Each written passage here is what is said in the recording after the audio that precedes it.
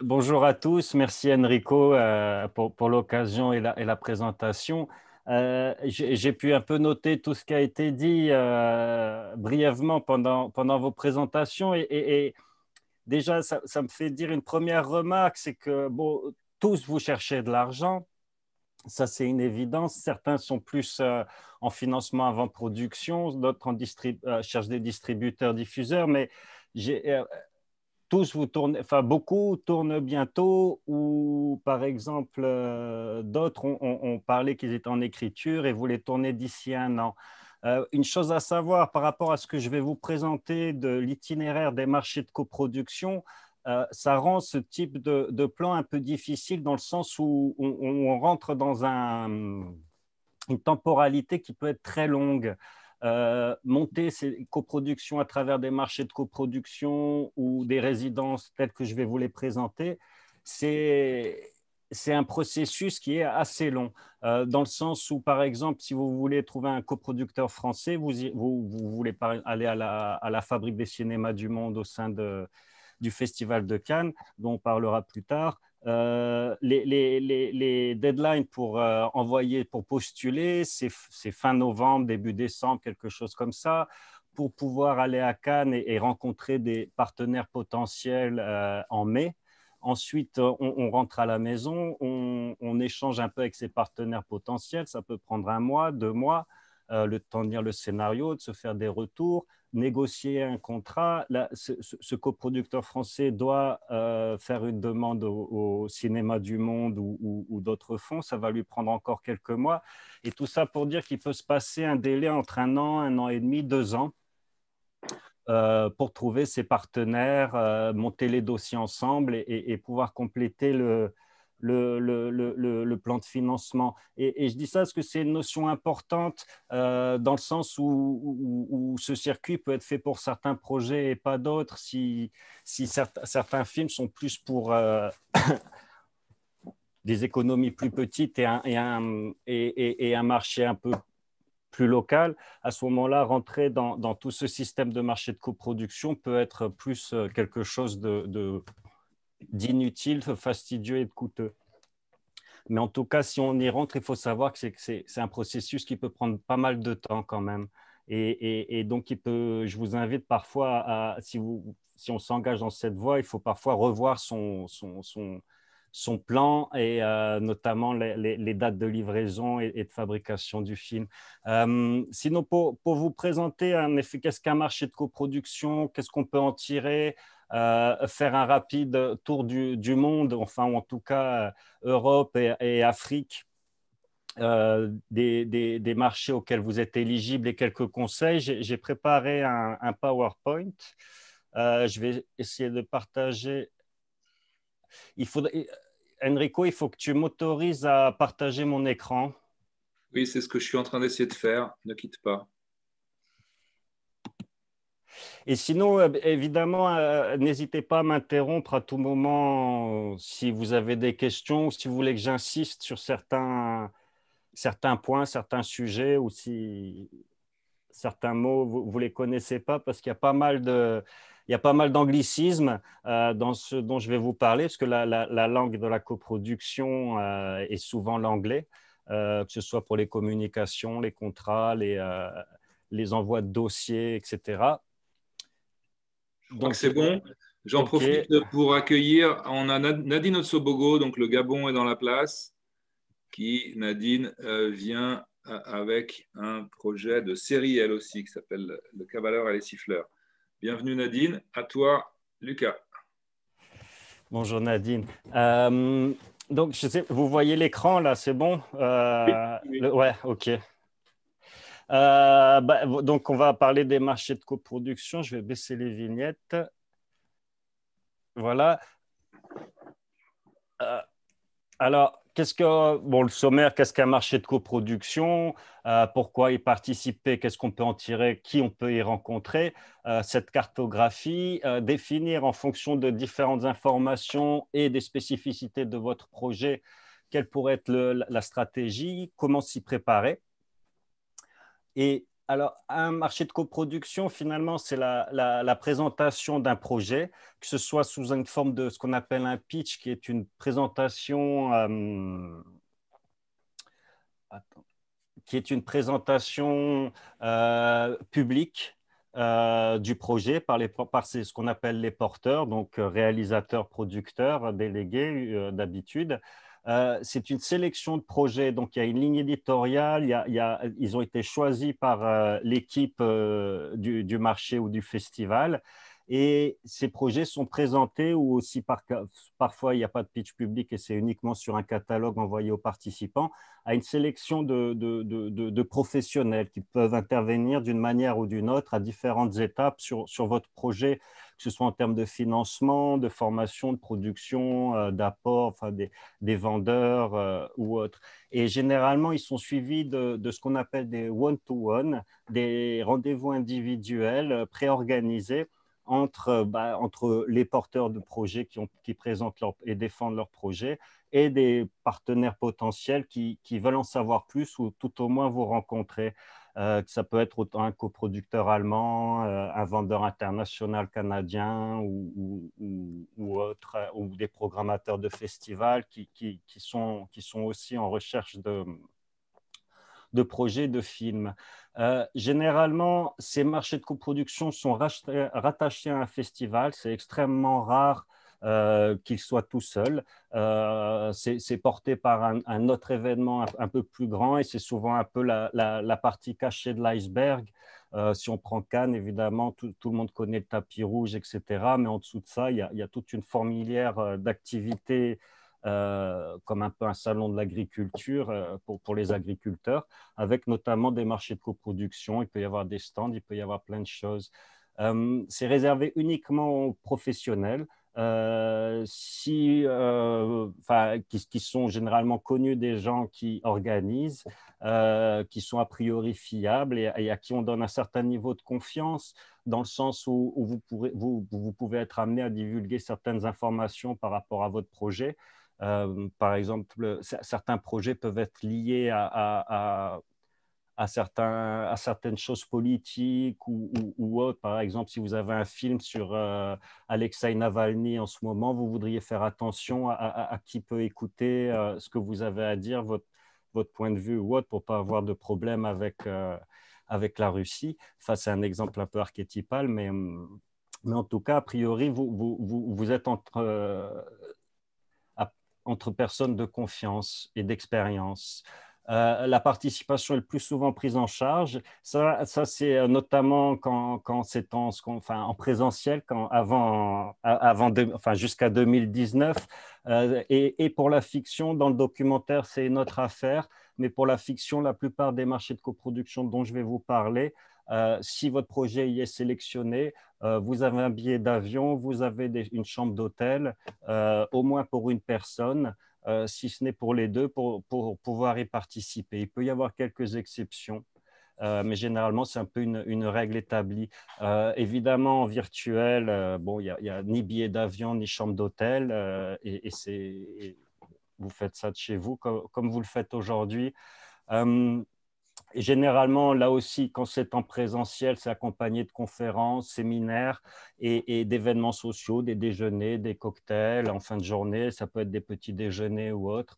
Euh, en, virtuel, comme depuis 2020, euh, beaucoup de ces marchés de coproduction continuent d'exister et se mettent sur des plateformes. Euh, virtuel, enfin sur Internet, et, comme nous on le fait aujourd'hui sur Zoom, et du coup bon, font des séminaires et des tables rondes euh, également via Zoom ou, ou euh, d'autres applications du genre. Euh, du coup, voilà un peu quand ça, comment ça ressemblait jusqu'à début 2019. La photo d'en haut, c'est, je crois que c'est à, Berlin. Bon, c'est ce qu'on appelle, ce dont je vous parlais, les one-to-one meetings, ces rendez-vous individuels après les, après les présentations publiques, où, chacun est à une table. Généralement, c'est des rendez-vous de 20 minutes à une demi-heure. Vous avez un planning prédéfini et toutes les demi-heures, un, nouveau rendez-vous s'effectue avec un autre euh, producteur potentiel.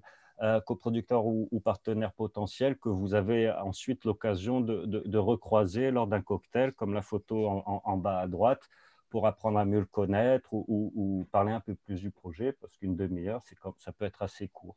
Et là, bon, la photo d'en bas à gauche, c'est pour ces fameux séminaires ou, qui, accompagnent toujours ce type d'événement.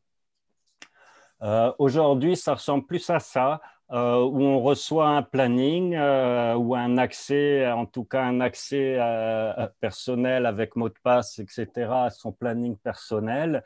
Euh, ça, c'est un planning tiré du, marché de coproduction des arcs, où, bon, entre les tables rondes, euh, les one-to-one meetings, on a les horaires, et quand, c'est quand on est à l'heure qu'il faut, du, bonjour, on vient cliquer sur le More Information et on se retrouve basculé sur euh, soit le séminaire, le, site de, rendez-vous ou autre. Et du coup, voilà, comme aujourd'hui, on se retrouve face plutôt à, un écran. Euh, après, bon, on, croise tous les doigts. Enfin, bon, c'est qu'une parenthèse dans nos vies, mais on, peut imaginer que l'année 2021 ressemblera à l'année 2020 euh, par rapport à ce type d'événement en tout cas. Euh, et, donc, certains des marchés dont je vais, que je vais mentionner un peu plus tard ont déjà pris la décision, d'autres sont encore en train de, de, se tâter. Euh, certains ont changé leur date. Enfin, tous essayent de trouver une, manière de s'adapter à cette situation.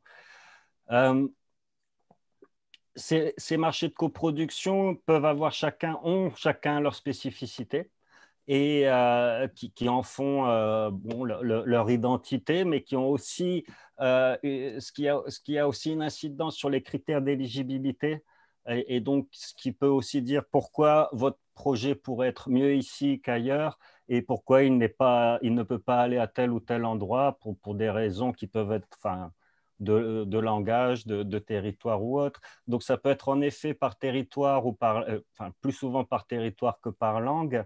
Euh, et, par exemple, le, les ateliers de l'Atlas à Marrakech sont uniquement pour les, les, projets euh, d'Afrique, Afrique du Nord et Moyen-Orient. Le festival de Durban, c'est pour l'Afrique et la diaspora. Euh, donc les projets haïtiens seraient a, priori éligibles. Euh, le, ex-festival de Dubaï, c'était pour ce le monde arabe, donc tous les pays de, la Ligue arabe. Enfin, il peut y avoir comme ça, d'autres sont uniquement pour les projets européens ou autres. Et la, la, nation, par territoire ou, nationalité, c'est aussi un peu, ça peut être aussi technique. La plupart d'entre vous, à ce que j'ai compris, vos productions majoritaires sont, en Afrique.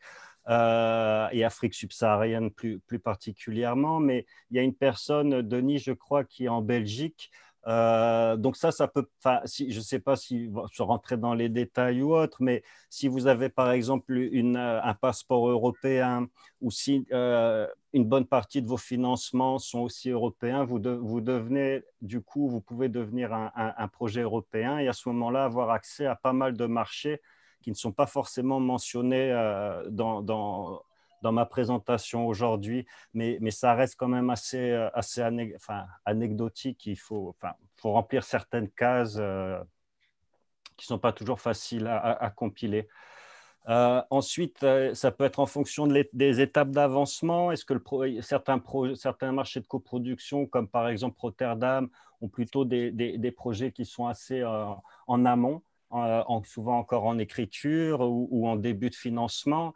Euh, d'autres marchés comme Venise, sont, il faut avoir 70% des, financements acquis, c'est ce qu'on appelle le gap financing.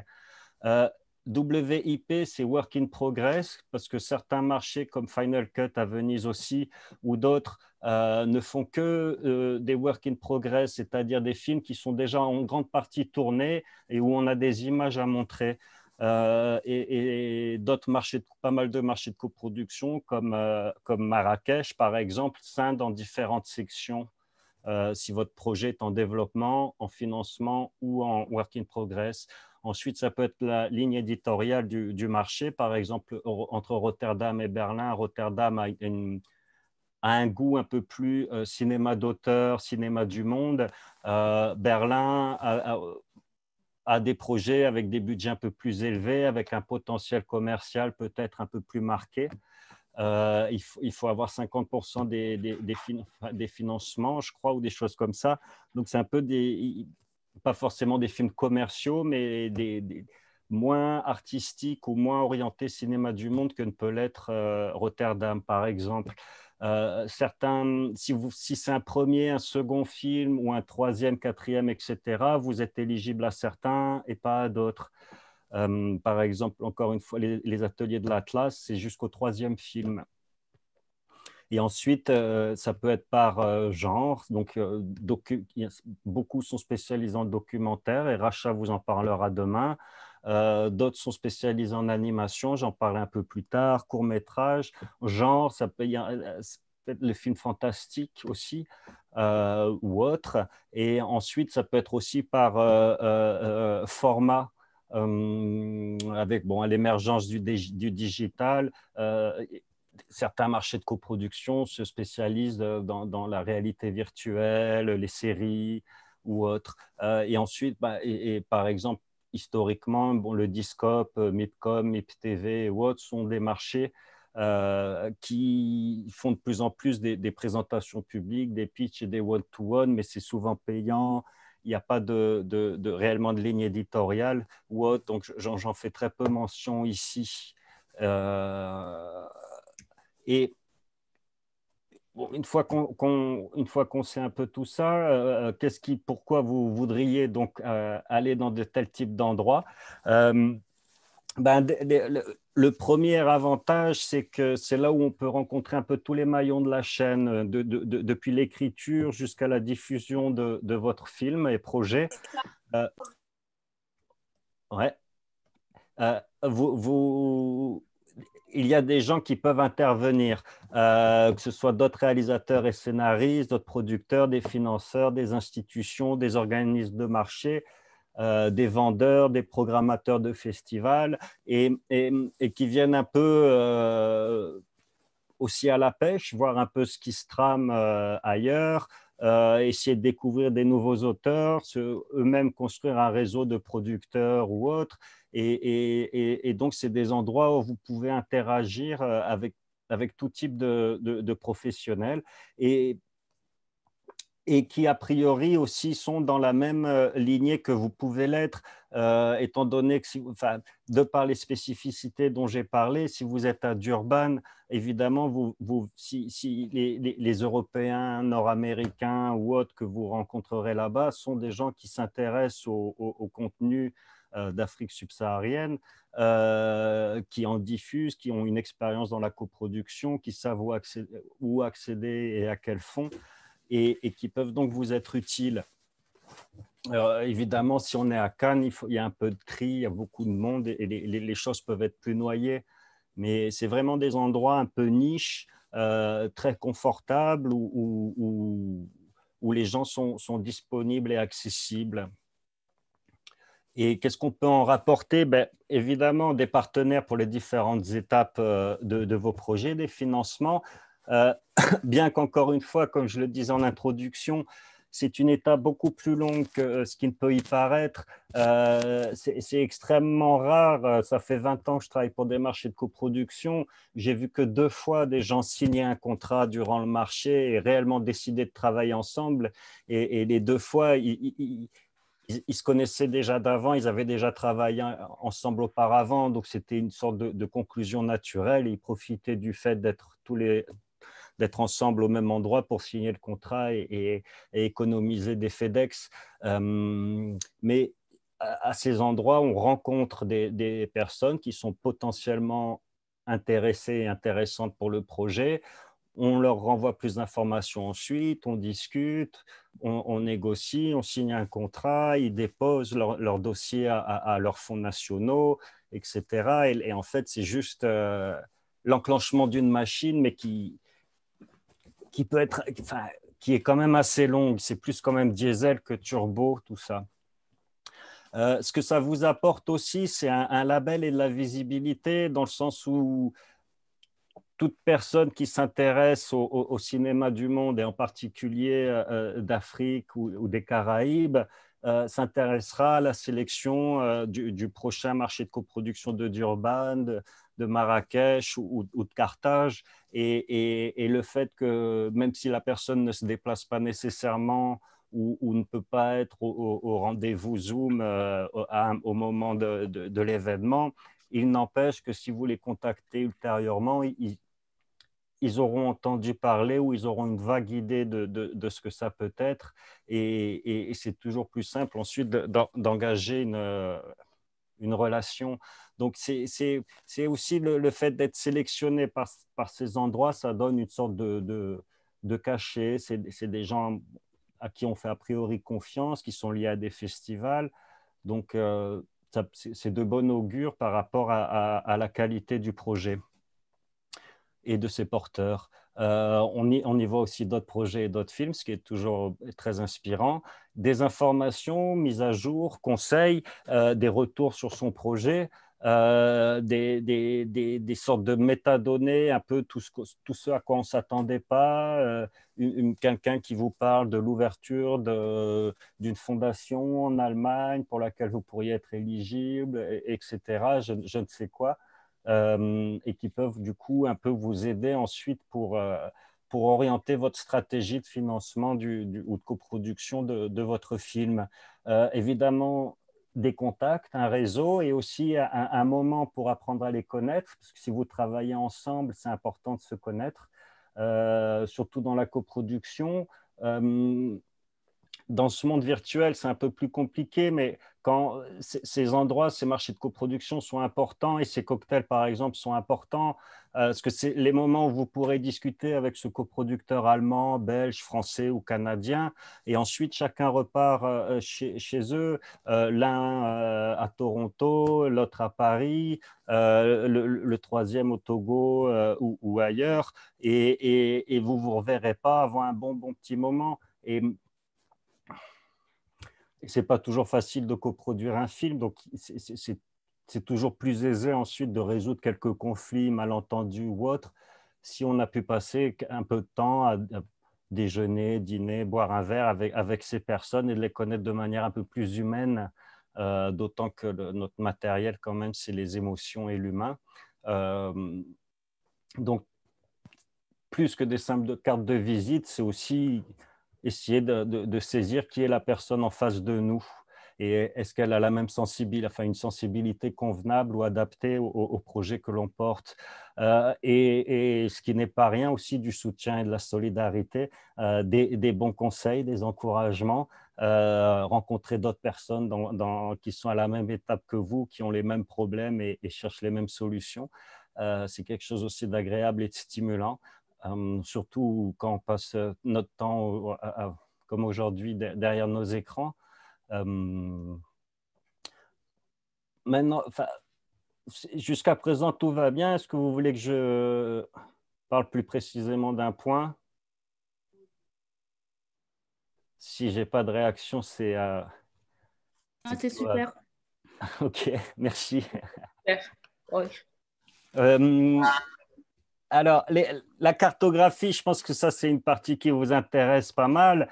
Euh, évidemment, ce que je vais vous montrer n'est pas exhaustif. Euh, en ce moment, cette cartographie euh, évolue un peu plus que d'habitude. D'habitude, il y en a toujours des nouveaux qui se montent, d'autres qui disparaissent. Mais aujourd'hui, bon, avec, avec ce qu'on connaît, le, Covid et tout ça, il y a des dates qui changent des, critères d'éligibilité. Enfin, bon, il y a, pas mal. Dans, les informations que je vais vous donner, je pense qu'Enrico vous enverra le PDF. Il y a, tout, il y a, les adresses euh, Internet, tout ça. Donc, euh, c'est quelque chose, il faut régulièrement aller jeter un coup d'œil, euh, passer une heure ou deux à aller farfouiller un petit peu. je vais vous donner un plan d'ensemble, mais il y a toujours un peu de devoir à faire à la maison quand même et toujours une mise à jour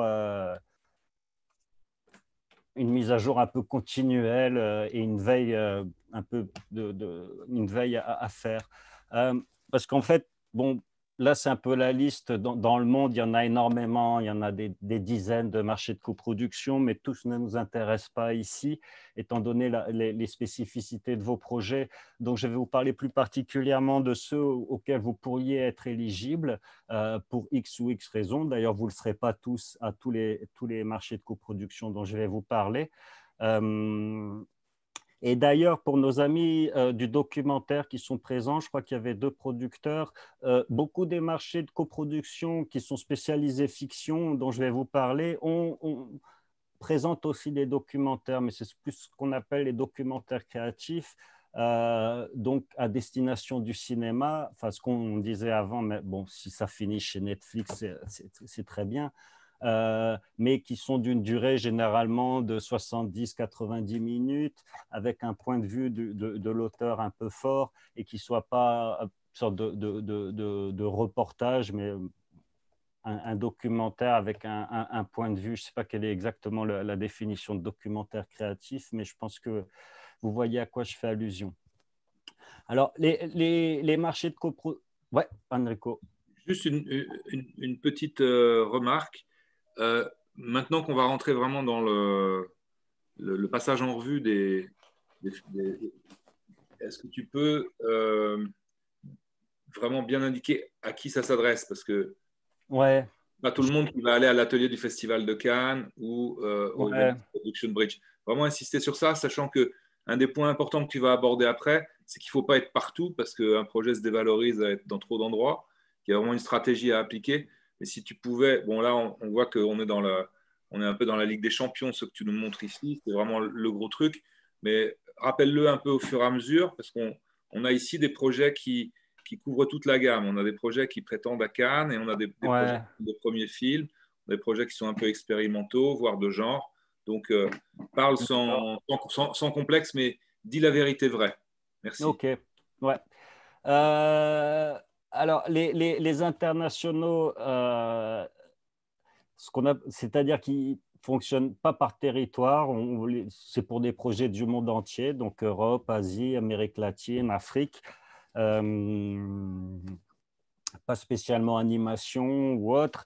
Il peut y avoir des projets d'animation, mais, donc qui, acceptent tout, projet du monde entier de toutes les langues. Euh, comme disait Enrico, c'est en effet ce qu'on pourrait appeler la, Ligue des champions. Et, si on regarde les, festivals derrière, ce n'est pas, pas n'importe lesquels. C'est Cannes, c'est Rotterdam, c'est Berlin, c'est Venise, c'est parmi les plus gros du monde. Euh, enfin, les plus gros, oui, et en, tout cas les plus sélectifs et, les plus inatteignables. Euh, donc, évidemment, euh, ça aura une incidence sur, leur marché de coproduction. Il faut savoir que leur, euh, sélection est d'une certaine manière un reflet de ce que peut être la sélection du festival. Et c'est une sorte de, oui, de, Oh, peut-être de tremplin. Il n'y a, pas d'acquis. Ce n'est pas parce qu'on est à l'atelier du festival que le film sera dans une quelconque sélection du festival. Mais grosso modo, euh, à l'atelier du festival, sont des projets qui pourraient éventuellement euh, se retrouver à un certain regard ou en compétition officielle.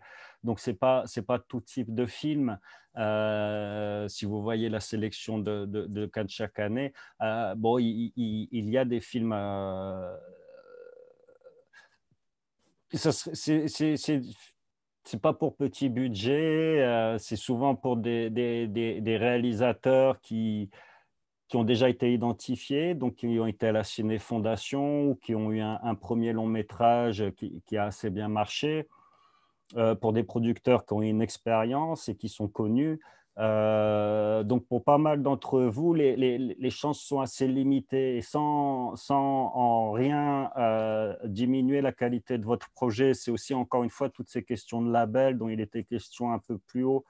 Avant d'arriver à la marche de Cannes ou de Berlin, il faut avoir monté déjà quelques marches.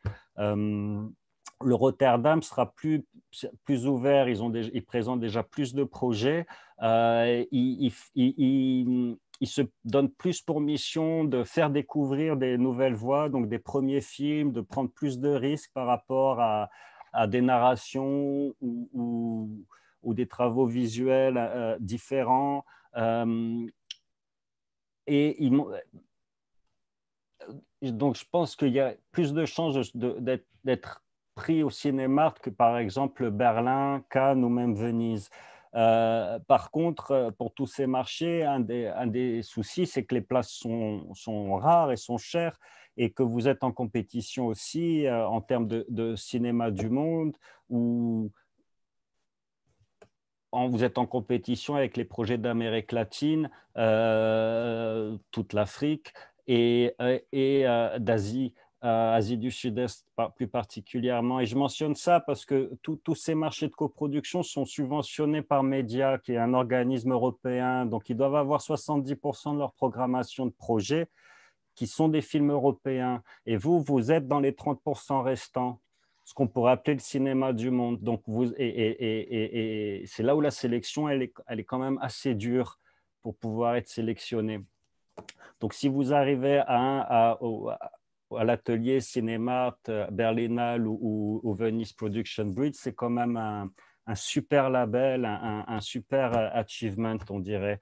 Euh, mais la, route est longue pour y arriver là, et c'est très rare d'y arriver avec un premier projet euh, sans avoir euh, eu un film qui a un peu circulé, soit en festival ou sur certains territoires auparavant.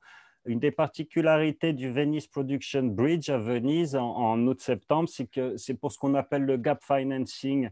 Euh, donc, il faut avoir 70% des, financements euh, sécurisés. Et, et, ça, on ne parle pas de, de, les, deferrals, enfin, du, vrai investissement, pas le producteur qui met son salaire en participation ou autre, parce que ça, ça ne compte pas vraiment à ce stade-là.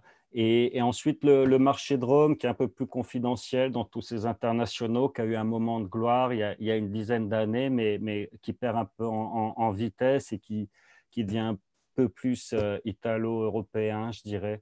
Euh, ensuite, il y a tout ce, qu'on pourrait appeler les spécifiques, qui sont, à mon avis, plus intéressants pour la plupart d'entre vous. Il y a ceux par territoire et par langue. Euh, les, ateliers de l'Atlas dont j'ai déjà parlé à Marrakech, c'est en décembre. C'est encore une fois tous les projets de la région Moyen-Orient et Afrique. Euh, premier, deuxième et troisième euh, long métrage, documentaire et fiction, documentaire créatif. Et, il y a une section Work in Progress, donc film déjà dont le tournage est entamé ou en, post-production. Euh, c'est non seulement un marché de coproduction, mais aussi un atelier. Ils font venir des, consultants scénario, monteurs, montage et musique de vraiment très très bon niveau pour travailler en amont aussi avec les, les, porteurs de projets. Ouais, Enrico? Oui, je me rends compte que depuis le début, on n'a pas donné un peu le calibre de ces trucs-là. Euh, c'est important de, savoir si euh, c'est des marchés où il y a 60 projets ou 12. Hmm. Par exemple, à Marrakech, je crois que c'est 10 en développement, 10 en, en finition. Ouais, ouais. C'est quand même des cercles très restreints. Est-ce que tu peux euh, redire un petit mot euh, euh, ouais. sur ça, ou en tout cas au fur et à mesure, parce que hmm, Rotterdam, Rotterdam, je crois, pour y être allé deux ou trois fois, mais je crois que ça, ça a réduit. Ils, ont réduit à 17 cette année. Voilà, mais, c'était 40 avant, quoi. mais ces dernières années, ils ont pas mal réduit. Ils, étaient passés à 20-25 et là, ils sont tombés à 15-16, je crois. Mais c'est aussi parce qu'en virtuel, on peut moins se permettre euh, d'avoir beaucoup de projets. L'atelier, c'est 20, 20, 25, 20, une vingtaine de projets aussi, donc très sélectif. Euh, Berlinale, c'est pas loin d'une quarantaine, je crois. C'est un peu plus large. Euh, mais c'est pour des budgets entre 2 et 10 millions d'euros. Hein. Il faut être à 30% minimum. Et d'ailleurs, il y a une section série euh, il, faut un marché de coproduction pour la série, j'en ai pas parlé tout à l'heure. Venise, c'est 40 projets, c'est pas mal de projets, euh, documentaires, fiction, déjà tournés ou pas. Euh, mais en financement, on avait eu Vanouri, Vanouri Caillou, par exemple, Rafiki, il y a quelques années. et Rome, je ne sais plus du tout combien de projets, mais, mais c'est très sélectif faut garder ça en tête. C'est très sélectif. Hein. Que ce soit 20 ou 40 projets, ça reste, euh, ça reste très sélectif. Euh, les ateliers de l'Atlas, ça l'est aussi, ouais, c'est une dizaine de projets, entre 8 et 10 projets en développement et 8 et 10 projets en, en, work in progress, plus une section de, projets marocains, mais ça, ici, ça ne concerne personne. Durban, c'est une quinzaine de projets fiction, une quinzaine de projets documentaires. c'est pour des, films toute l'Afrique et la diaspora, donc euh, nos amis haïtiens sont inclus. Euh, l'appel est en cours jusqu'au 21 février si vous voulez postuler. Ça, se déroulera en juillet. Euh, ça sera très certainement virtuel comme l'année dernière. L'année dernière, ils l'avaient décalé en août, mais là, ils sont revenus en juillet à leur, leur date habituelle. donc celui-là, pas mal d'entre vous est éligible. C'est pour les longs métrages ils font pas de série. Et ça, peut être quelque part où ça peut être intéressant pour vous de, postuler. Euh, d'autant qu'ils ont un partenariat avec aussi euh, Rotterdam, euh, Produire au Sud ou des choses comme ça, qui, prennent un des projets de la sélection pour l'amener au prochain festival de Rotterdam, au Rotterdam Lab, qui est une sorte de, formation pour producteurs pendant le festival, euh, produire au sud un atelier de coproduction qui se passe pendant le festival de Nantes. Euh, donc, c'est, ce type d'endroit peut servir de relais pour pouvoir accéder à, un autre marché ou une autre initiative qui peut vous aider à porter le projet un peu plus loin. Euh, le festival de Carthage, euh, qui est pour tous les, projets, euh, comme pour Marrakech de la région Moyen-Orient Afrique, qui fait du développement et du work in progress, euh, et qui se passe en décembre, juste avant le, festival de Marrakech, quelques semaines avant, je crois. La Fabrique des cinémas du monde, j'imagine vous, vous, vous, devez connaître, qui est pendant le festival de Cannes, premier et deuxième long métrage en développement et financement. Euh, et là, et, l'appel à projet, là, c'est terminé. Il, était jusqu'à novembre. Donc, vous voyez, c'est quand même très tôt. Les, les, appels à projet se terminent quand même plusieurs mois avant l'événement lui-même. Donc, faites attention à ça quand vous vous dites Ah, moi, je pense que ça serait bien qu'on aille à, à, Durban, mais ça veut dire que c'est dans 15. Enfin, si l'événement est en juillet, ça veut dire que la deadline pour postuler est très bientôt. Alors que juillet peut, peut, peut paraître assez loin encore. Euh, les rencontres francophones de la coproduction, donc là, c'est quelle que soit l'origine du, projet, il faut juste qu'au au moins, je crois que c'est 51%, euh, soit en langue française. Euh, ce qui a priori est le cas pour la plus grande partie d'entre vous. Ça n'a pas eu lieu l'année dernière à cause de, la situation sanitaire. D'habitude, c'est en Belgique et euh, euh, pardon, c'est au Luxembourg parce que c'est co-organisé entre les différents fonds euh, Wallonie, Luxembourg, le CNC en fait partie aussi, je crois, et, d'autres. Il y avait aussi la SODEC au Québec. Et, donc, parfois, ils changeaient de lieu. Et, cette année, en 2021, ce sera peut-être à Bruxelles en novembre. C'est quelque chose qui n'a pas été encore confirmé. Il y a Open Doors à Locarno en août, ça c'est aussi un, festival très important. Par contre, leur marché de coproduction Open Doors fait une région du monde différente chaque année. Ils ont fait déjà l'Afrique subsaharienne euh, il y a quelques années. Euh, d'ici quelques années, ils, ont, referont un focus euh, sur cette région et à ce moment-là, vos projets seront éligibles. Crossroads et Agora, c'est plus les pays méditerranéens, donc euh, Afrique du Nord, euh, seraient inclus, mais là, ça, ça, concerne personne ici.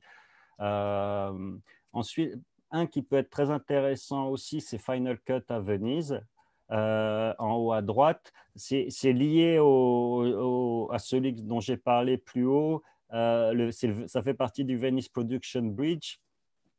Et là, c'est uniquement pour les films de la région Moyen-Orient Afrique du Nord et Afrique subsaharienne, et c'est pour ce qu'on appelle les work in progress. Donc, c'est des films déjà tournés, on montre 40-45 minutes, parfois plus, du film à des, à des distributeurs, vendeurs, euh, d'autres partenaires qui peuvent venir avec certains prix en, apport technique ou autre. Enrico Juste un mot parce que j'y étais cette année, parce que l'OIF est partenaire et donne un prix là-bas c'est vrai que c'est un, c'est un très, c'est très sélectif aussi.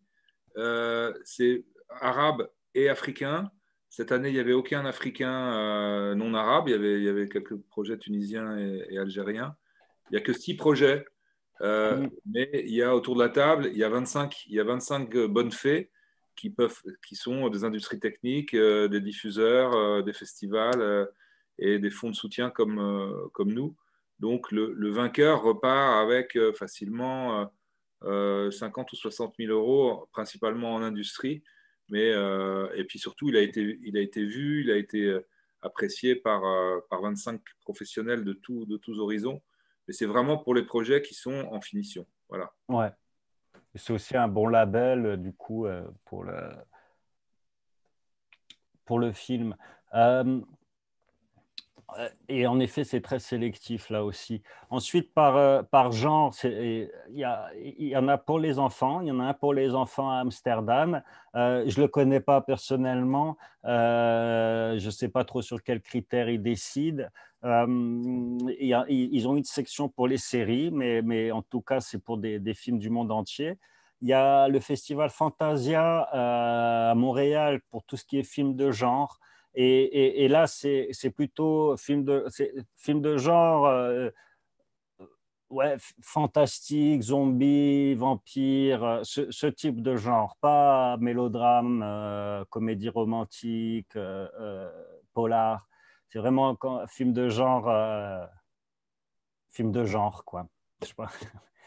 Il euh, y, en avait un. Est-ce que la science-fiction africaine. ouais, ouais, ouais, c'est de l'ordre du fantastique, science-fiction, film d'anticipation, c'est OK. ouais, certains diraient film barré, quoi. Mais euh, ouais, euh, entre guillemets. Ça peut donc. J'imagine qu'il y a aussi un effet contre-programmation. Être le seul projet africain dans un marché comme ça, c'est avoir une certaine visibilité. Euh, oui, bah, ça, ça va, ça va générer de la curiosité, ouais. Ouais, ouais, oui, surtout, enfin, en plus des projets de science-fiction euh, euh, venus d'Afrique, en Afrique du Sud, il y a une certaine histoire, il y en a, il y en a quelques-uns qui arrivent de temps en temps, mais c'est assez rare d'en voir d'autres d'autres pays que l'Afrique du Sud, enfin, en, tout cas pour ce que j'ai pu croiser. Mais oui, oui, pour la plupart de ces marchés, c'est quand même, euh, enfin, ces marchés, je parle Cinekid, Fantasia, euh, Annecy ou autre, euh, c'est vrai que la, part de projets africains subsahariens est toujours très faible. Hein, ils peuvent passer plusieurs années sans en avoir, hélas. C'est quelque chose qu'on va essayer de changer. Euh, il, y avait un, festival aussi qui était lié à celui-là de, films de genre avec un marché frontière à Bruxelles, mais il s'est fermé il y, a, un an ou deux. Euh, par contre, il y a le Beef Market à Bruxelles qui, existe toujours. Ah, attendez, j'ai perdu la page. Euh, et, mais avec quand même qui, a une grosse texture belge. Euh, même dans les, j'ai regardé un peu leurs différentes sélections ces dernières années, c'est beau quand même, surtout des films européens et, en grande partie belges. Euh, un qui est intéressant, je, crois qu'il y a de l'animation, en tout cas dans, les projets soutenus par l'OIF, je ne sais plus s'ils sont présents ou pas, euh, mais il y, a, deux marchés internationaux assez intéressants. Évidemment, le Festival d'Annecy, qui, est vraiment intéressant, dont l'appel est en cours et c'est dans quatre jours la deadline c'est pour des projets en développement, work in progress. Euh, ils font de la série, ils font le court métrage aussi. Il faut avoir un minimum de 50% de, du film qui est en animation. Donc, ça peut être un mélange de, live action, euh, enfin, prise de vue réelle et animation, tant qu'il y a au moins 50% d'animation.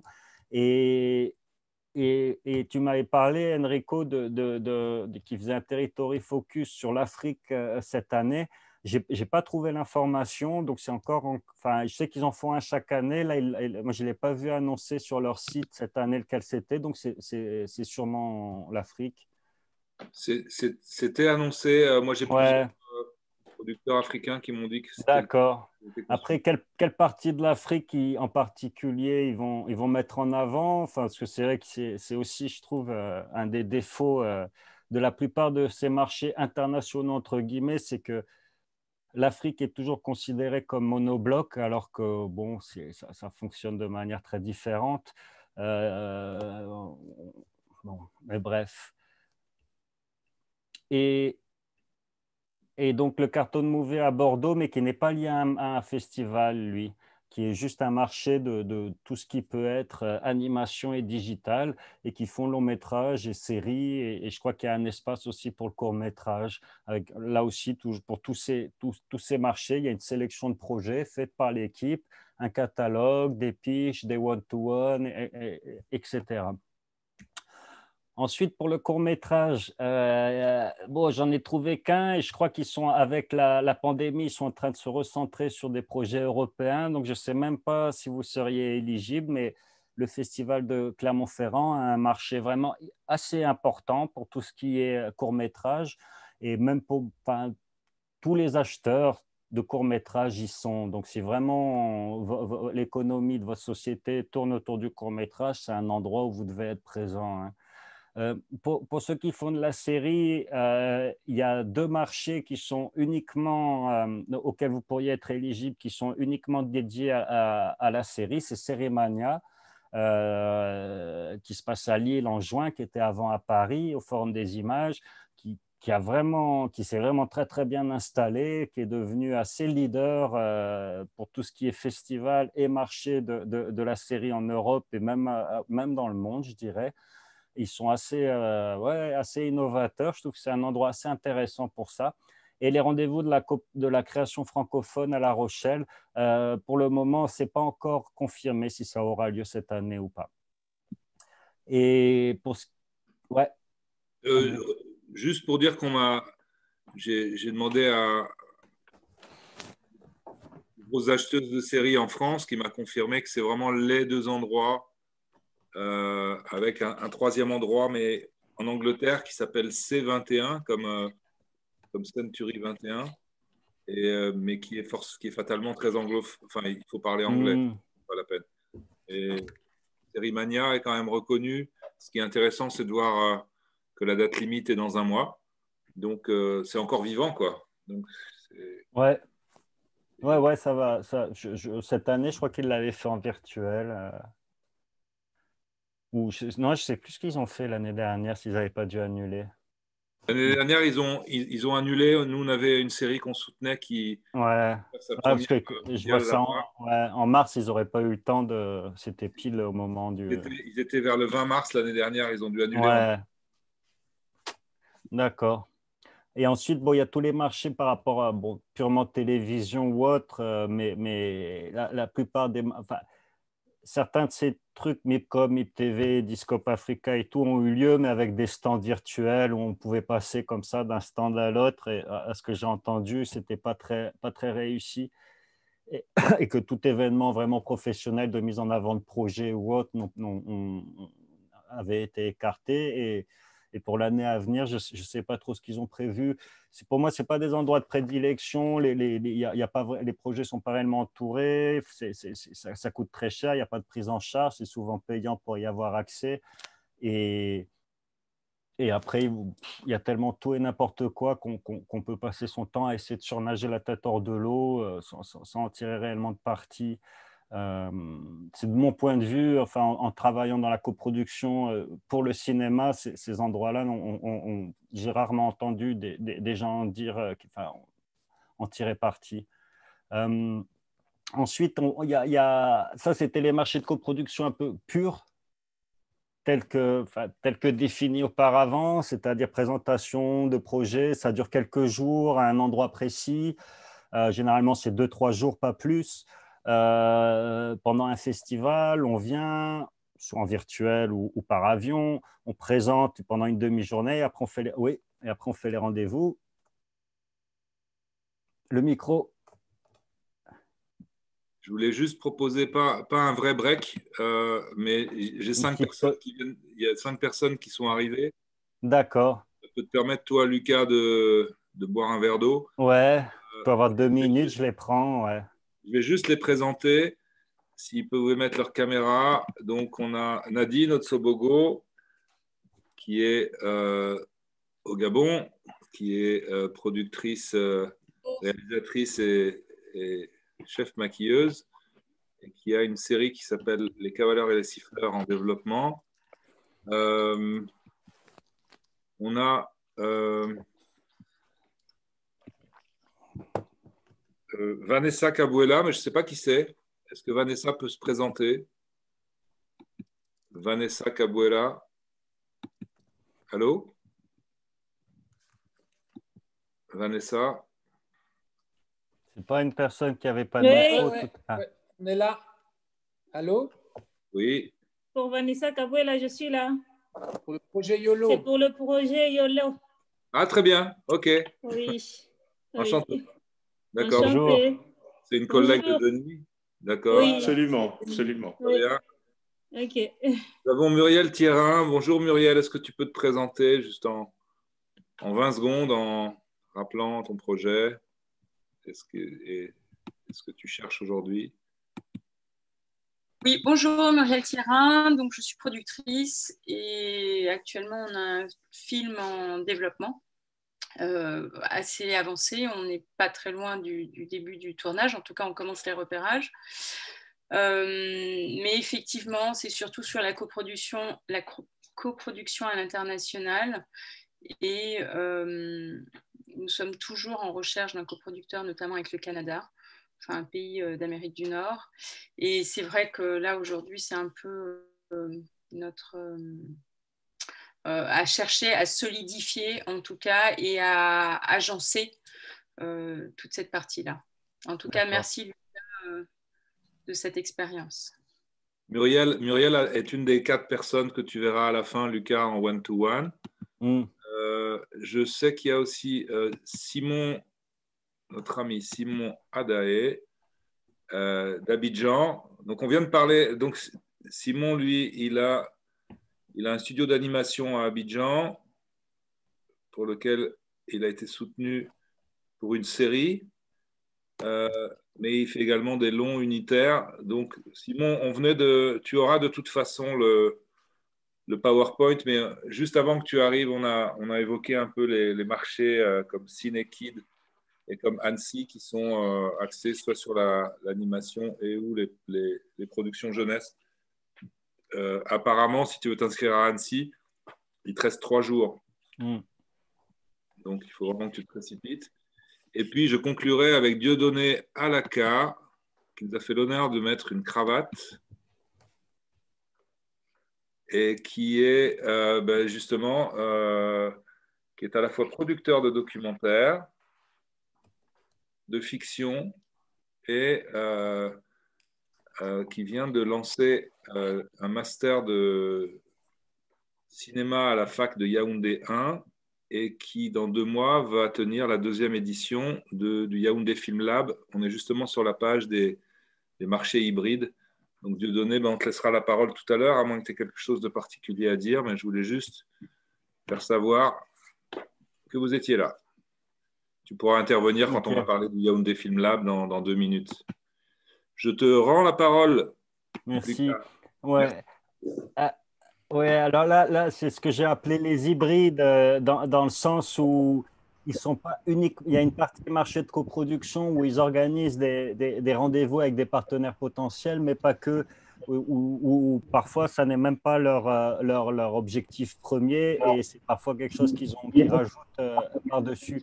à l'exemple de, des résidences d'écriture que sont le Realness Institute, qui, est organisée en Afrique du Sud, ou la Ciné Fondation liée au, Festival de Cannes, euh, pour laquelle les projets de, de long métrage de fiction sont éligibles, euh, long métrage de fiction pour le cinéma. Euh, Realness a d'ailleurs aussi une section série. Euh, et c'est pour l'écriture, donc c'est quand on a soit un, un, premier traitement, enfin un traitement ou une première version du scénario, on est, on est pris là-bas, on fait toutes des sessions d'écriture, euh, dans enfin, soit dans, généralement c'est une résidence, mais depuis ces années, c'est juste des rendez-vous Zoom. Et à la fin, ils ont des partenariats avec d'autres marchés de coproduction où les projets qui étaient sélectionnés à Realness ou à la Ciné Fondation sont montrés. Par exemple, Realness, ils, sont présentés à Durban. Ils, ils, font venir les gens de Realness qui ont des rendez-vous one-to-one avec les, partenaires potentiels présents à Durban. La Ciné Fondation, ils font ça à Berlin et à Rotterdam et évidemment à Cannes aussi. Euh, donc c'est pour ça que je les ai mis là, parce qu'après, il y a plein d'autres résidences d'écriture, hein, euh, Sundance, euh, le, Moulin d'Andé ou, ou d'autres, mais mais qui n'organisent pas comme ça, où il n'y a pas réellement comme ça de porosité directe avec euh, d'autres maillons de d'autres maillons de l'industrie et qui sont très concentrés sur l'écriture pure, euh, ou le groupe Ouest euh, en Bretagne aussi, qui est très intéressant. à noter que les, gens qui organisent Realness, Uruku Media, ont aussi lancé depuis l'année dernière, en partenariat avec le Cinémart, avec EAVE e et d'autres organismes européens et africains, euh, Indaba, qui est un programme de formation pour les producteurs euh, d'Afrique subsaharienne euh, et, qui est particulièrement dédié à la coproduction. La première édition a eu lieu cette année en virtuel. Je n'ai pas eu encore de retour, mais vu, la qualité des, partenaires et, des gens qui sont derrière, je pense que c'est une initiative très intéressante. depuis pas mal d'années maintenant, il y a le Waga Film Lab, euh, où à la fois les projets sélectionnés, une dizaine de projets, euh, toute l'Afrique, mais la plupart des projets sont souvent francophones euh, où il y a des, ils travaillent autour de, enfin, les, projets sont invités, travaillent autour de l'écriture, de, leur stratégie de financement ou autre, et ils font venir aussi pas mal de, de professionnels africains et européens qui peuvent ensuite intervenir sur ces projets de différentes manières. Euh, le Yaoundé Film Lab aussi, de la, même manière, au, Cameroun, où ils organisent ces ateliers autour de l'écriture, euh, production, financement et autres, où, il y a quelques professionnels euh, non nationaux qui sont également invités à participer et, à interagir avec les projets sélectionnés ça, c'est des. Ouaga Film Lab et Yaoundé Film Lab sont sur des, durées précises, euh, se déroulent à Yaoundé et à Ouagadougou. Euh, les autres, la Biennale, Torino et AVE, euh, sont, sur l'année. C'est des initiatives européennes. Biennale College, c'est bon, lié au Festival de Venise. Ils sélectionnent quelques, je crois, à peu près une, douzaine de projets euh, du monde entier et ils, font sur l'année euh, un travail autour de l'écriture pendant un an et, sur le développement. Et à la fin, ils donnent une bourse à certains d'entre eux pour que les films puissent se faire en, les, finançant au moins, à 50%. C'est des films à petit budget. Euh, vous, êtes éligible. c'est extrêmement sélectif et dur à atteindre aussi. Euh, le Torino Film Lab a, différents ateliers autour de l'écriture, financement, on a, développé autour de la série aussi. Et, à la fin des sessions, à la fin de l'année, ils font aussi venir des professionnels du, monde entier pour pouvoir rencontrer les projets. Il y a un pitch public des projets qui ont été présentés, enfin, sur lesquels ils ont travaillé pendant l'année. EAVE, euh, e, c'est un une formation euh, pour les producteurs que l'on peut faire avec son projet, c'est sur un an. Euh, depuis pas mal d'années, il y a des producteurs africains qui qui ont participé. Euh, c'est généralement pour des producteurs européens, mais sur les 50 producteurs, 50 producteurs chaque année qui y participent, il y en a généralement une demi-douzaine qui viennent de pays non européens et régulièrement des, producteurs africains y, participent. Moi, je l'ai fait il y a 10 ans, ce programme, c'est vraiment très, très bien, c'est très pointu, on, rencontre pas mal de monde, on apprend beaucoup de choses. Euh, et ensuite, il y a le, le, DOA Film Institute qui a différentes initiatives euh, du financement à l'atelier et aux rencontres organisées aussi en one-to-one. Euh, je ne me rappelle plus de l'initiative de, cet atelier qui se passe en mars à Doha, où ils font, ils, font venir une partie des projets qu'ils ont, qu'ils ont aidés financièrement pour travailler quelques jours sur l'écriture, le financement et autres, et ensuite organiser des rendez-vous, euh, là aussi avec des, professionnels du monde entier. Au début, ils étaient exclusivement pour les projets arabes, euh, mais euh, depuis une demi-douzaine d'années, se sont ouverts aux projets du monde entier. donc, vous, êtes maintenant, pour la, plus grande partie d'entre vous, éligible au, au, DFI. Euh, c'est pour les longs métrages, fiction et documentaire. Mais là, documentaire créatif, là aussi. Euh, ouais. Euh, étant donné qu'on a Dieudonné ici, s'il veut parler pendant deux minutes du Yaoundé Film Lab qui est qui aura lieu dans deux mois. Et je, crois que l'inscription est finie ou c'est fini, non?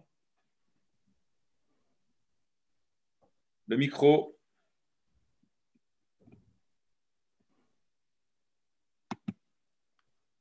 Remettre ton micro. Activer le micro. Bonjour. Vous m'entendez là? Très bien. Ok. Bien évidemment, euh, Indico, la date limite, c'était le 31 janvier. Euh, comme Lucas vient de le dire, euh, le Yaoundé Film Lab euh, accueille des projets, effectivement, des jeunes auteurs qui viennent d'Afrique centrale. Nous avons 11 pays. Le, lab couvre 11 pays d'Afrique centrale. Et cette année, nous sommes là. Enrico, c'est une mauvaise nouvelle pour toi. On a, on a reçu presque une trentaine de projets. Euh, je savais d'une vingtaine, mais c'est plus. Euh, donc, euh, nous sommes en train de. Je crois qu'on va envoyer les projets à la commission dans quelques jours. Et par contre, il y a une information que, que je voudrais ajouter c'est que on travaille pendant presque un mois et demi, deux mois à distance d'abord. Avant, dès qu'on sélectionne les projets, il y a d'abord un travail à distance pour que les formateurs prennent connaissance des projets avant de venir à Yaoundé pour 10 jours. Et après les 10 jours, euh, on fait les efforts. Ce n'est pas souvent évident, mais on fait les efforts de faire un suivi euh, encore sur euh, deux ou trois mois grâce à nos formateurs pour avoir un peu une sorte de restitution du travail qui a été fait pendant le lab. Et cette année, comme l'année dernière, on aura, grâce à Canal Plus, euh, un grand pitch euh, dans une salle de cinéma euh, Canal Olympia de Yaoundé, avec tous les partenaires diffuseurs qui, qui accompagnent le lab cette année, donc Canal Plus TV5 et peut-être Acté et d'autres partenaires sud-africains, dont Afridox et le Festival de Durban qui, qui nous ont rejoints aujourd'hui. Donc là, on a je crois qu'on a toujours les mêmes partenaires qui reviennent un peu partout. On a cette année euh, eu beaucoup de projets qui viennent du Rwanda. Et du coup, on a eu la chance d'avoir l'appui de l'ambassade de, France qui est de ce côté-là. Donc, voilà, s'il y a des, petites questions sur euh, d'autres aspects, effectivement, je suis là. N'hésitez pas. D'accord, merci. Ça fait deux minutes, je crois. Merci beaucoup. Parfait, comme d'habitude. Lucas euh, Maintenant, on n'a pas, je vous ai fait un peu une cartographie. Euh, encore une fois, vous allez recevoir le, document avec les liens, donc je vous invite à aller voir en détail. Je ne suis pas rentré dans tous les détails. Euh,